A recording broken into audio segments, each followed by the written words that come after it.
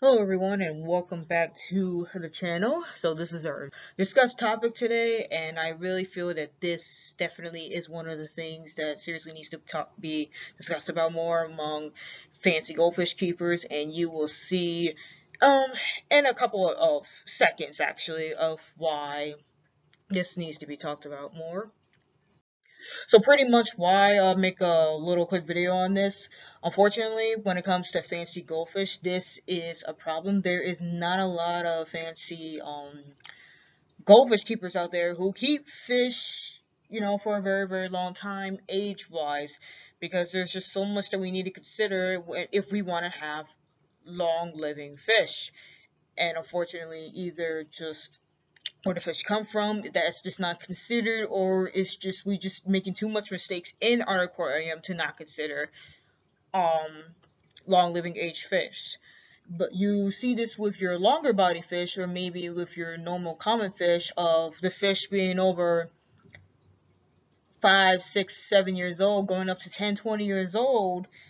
And the size also by the way does not determine the age of the fish. The size mainly just determines from how big your aquarium is. But aging in the fish, um, you know, these fish are a lot more hardier than fancy goldfish, of course, because due to not being as hybridized and bred as much as your fancy goldfish.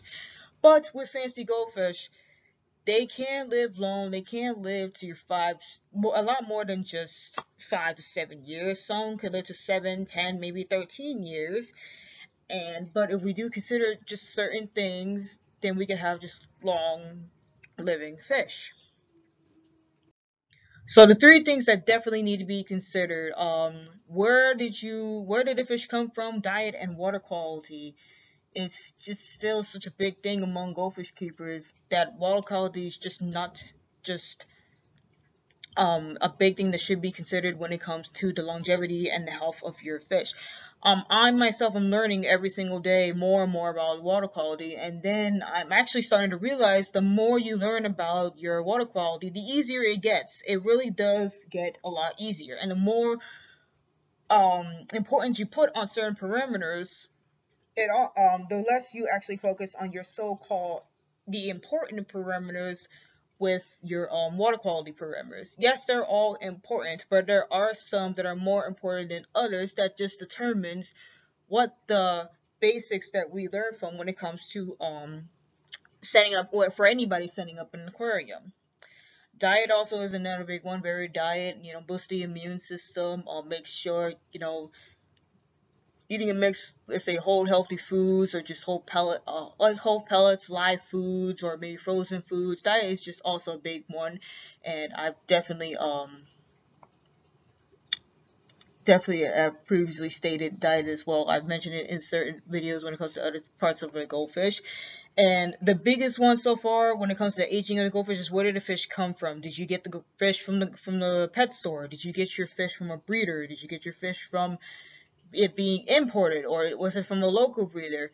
We have to consider genetics when it comes to our fish and especially when it comes to certain varieties of fancy goldfish because since fancy goldfish are so hybridized to produce certain scale colors, certain looks, or certain size of wings or fin shape or body shape, it does affect their lifespan. And with how much money not only these breeders but hobbyists put into fantasy goldfish, it would make sense that you want to have a long living fish if you have to spend hundreds and hundreds of dollars on not only just buying the fish, but also, you know, people spend a good amount of money on taking care of their aquariums. So it would make sense to have a long, a long living fish if you're putting so much time and work into taking care of the fish. So yes, fish having these short lifespans, it, it should not be a thing. We should not be seeing short-lived fancy goldfish uh, in our tanks. We should be having long-lived, um, long-lived fancy goldfish, and not only that, easy maintenance in our tanks once we understand more of our water quality, and also giving these guys a nice varied diet. Goldfish keeping really should not be as complicated as it seems, but it's because unfortunately a lack of understanding and it's lack of understanding and it's lack of re- lack of understanding, lack of research, and just lack of knowing like what is going on with with how information is being spread among goldfish keepers and how and and how the breeding is honestly being happening among certain, mainly predominantly from importers of fancy goldfish. That why some of these things are very, very difficult. So some of the things that you can tell from signs of aging or old goldfish, just and also, and here's another thing: just because your goldfish is aging or old, old age, that does not mean it's dying. And it's annoying every time when you look up stuff about aging or old goldfish, every single post or every single um, website that pops up, it automatically is assumed or means that your fish is dying or is about to be dead. Just no, it's it's your your fish is of course your fish is getting old and your fish is aging is not the same as dying, but you can definitely tell from the two things uh, when a fish is dead and when it is when it's compared to when it's aging. There's of course there's obviously two different scenarios happening. And you know, fish you know, goldfish do get old, they do age, and you know, we can have long living fish. but here are some of the things that you might see in um your aging in your old aging or old aging fancy goldfish. You might have seen one or maybe more of these things.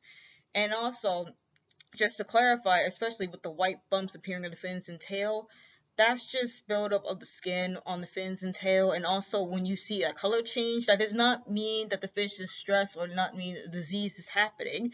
That's just, you know, you know, even with us, us humans or dogs, we start to change in our skin because things start, um, you know, slowing down with, with its preparing of the skin. It just means that the animal is getting older. It does not mean there's nothing bad with the um animal. And also as well, blindness is a possibility as well. Um, blindness in fish is also a possibility when the fish are getting old or when they're getting aged. That does not mean the fish is sick. It's just a sign of old age. Same thing with your dogs and your cats and even people. Sometimes, sometimes when things start to digress, um, in the eyes, blindness can happen. And um, even and another thing with the bottom sitting. Sometimes when you see old fish bottom sitting that also as well does not mean that they are sick. They might be just, you know, slowing down in their movement or maybe something is wrong, but you can help alleviate them with just um, up on the water changes, the water quality, or maybe feeding different food. Or sometimes they are bored, and sometimes um, older fish need uh, younger companions that get them to move around more, get them more active. So sometimes um, with older fish, you can bring in a young companion and you will definitely see a difference in the activity of older fish. Now, I would definitely like to use an example of my my fish, and um, you know, I'm on, I'm mainly on Instagram with my fish, and I post everything about my fish and my tank and what I do, what I feed on my tank on Instagram. So you can definitely check my Instagram out for more info. But and that's one of the biggest things I've noticed in this hobby. I've only been in this hobby now. This is going on three years, and yeah, there's not a lot of goldfish keepers out there who have fish that are over two years old.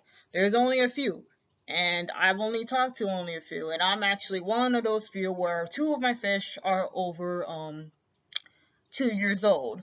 So, well, Nugget right here, she's actually the youngest one. She is around a year old, and she is actually my first ever brought breeder fish. I got her from Zal's Fancies. If you want to, I actually have his channel as a feature channel on my uh, main page. And he does a phenomenal, he's one of the, honestly, the only breeders that I mainly trust when it comes to healthy fish. And if you want to check more out, you can definitely check out his videos. And his fish are beautiful and, and amazing. But um, she's actually my youngest fish. She's around a year old. Lulu, she's my biggest fish. She is actually a pet store fish. And she is a black, as you can see, a black telescope goldfish. And you can see how she has, she definitely got all these white tips right here. And it started receding because when she got older, over two years old. And also as well, um, she also has these white bumps on her fins, on mainly these two bottom fins right here, and her tail. I started to notice that she got those white bumps when she was um, a little over two years old as well. That's not disease related, but it's just, you know, build up of the skin and stuff like that. And uh, and I forgot to also mention another thing. Sometimes some of the bumps can appear as ick on the back of the tail. Don't try to dump meds in your tank. You're you're stressing out for no reason. That's just another way of the bumps showing, and that's just another sign of as well your fish aging. And it's not a bad thing. It's just your fish is aging. But this is just little. And here's a little bump right here. Um, a little bit as well off the top of her top fin for Lulu. Hers is turning white as well, and some of her other fins is turning white as well. But Lulu, she's you know she's she's not an old fish, but she is showing signs of aging. And May 11th will actually be where it will be a total of now three years since I've had her. Her and my male Oranda Zulu. Now, you will know a lot more about this guy if you follow my, um, and look at my Instagram, but he's also showing signs of aging too. You mainly see his, though, with his, with his tail. He has a little bit of white streaks on his tail. I just, and also, I just wanted to show my fish as examples of, of, you know, signs of aging that you see in fish, and, um, he lost a lot of his color too. All of his belly used to not be white too. It used to be what his scales right here looks like. This shade of like gray with a little bit of blue. He used to have it all over his belly, but over time it just became white and the and his yellow on his chin used to be a lot darker, but that became um lighter too. Sometimes you can retrieve the color if you do feed certain foods, but once you have um aging fish, uh, most of the time I've noticed that that color is not going to come back. It just come, it just slowly going away because the fish is aging.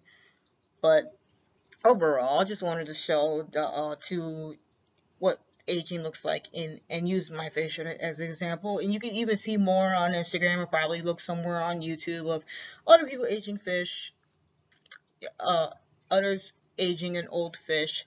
But yeah, um, you know, fish keeping is just an amazing thing, and you can just definitely see, you know, over time, like how your fish change and how they behave and how, you know, long and how they grow relationship with you. And aging in fancy goldfish is possible. It's just we definitely need to consider more things if we want to have long living fish.